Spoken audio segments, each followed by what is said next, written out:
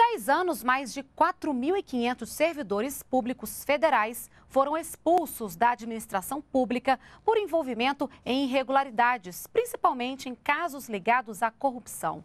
O repórter Paulo La Sálvia está com o ministro interino da Controladoria Geral da União e tem os detalhes. Boa noite, Paulo.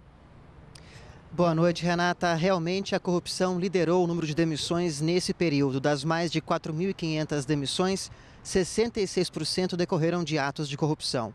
Quem vai conversar um pouco com a gente sobre o assunto é Carlos Higino, da Controladoria Geral da União. Boa noite, ministro. Nesse período, nos últimos 10 anos, de 2003 a 2013, as punições aumentaram? Aumentaram. Elas passaram de um patamar em torno de 250 demissões anuais para mais de 500 nesse ano passado. Por quê?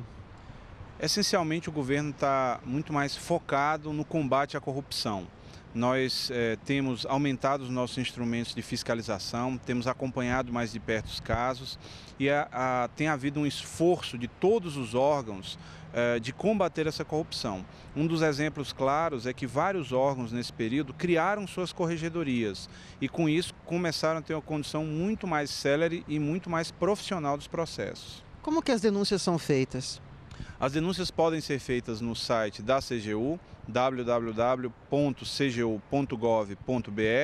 ou mesmo diretamente nos órgãos.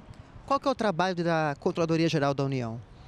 A Controladoria nesses últimos anos, ela tem feito um trabalho Uh, tem feito trabalho em vários sentidos. Um deles é o de ajudar cada ministério, cada órgão a implementar corregedorias e a treinar esses servidores que fazem os processos. É muito importante que esses processos sejam céleres e sejam feitos com toda a segurança jurídica para que os servidores não venham a retornar depois reintegrados pela Justiça. Por outro lado, nós também temos um trabalho de eh, atuação direta nos casos mais graves. Sempre que há uh, um, um, escândalo de corrupção no qual há servidores uh, de alta hierarquia envolvida ou, ou casos mais complexos, a CGU é chamada e tem atuado diretamente nesses casos. Muito obrigado pela entrevista. Voltamos com você no estúdio, Renata. Obrigada, Paulo, pelas informações. Obrigada também ao nosso entrevistado. Boa noite.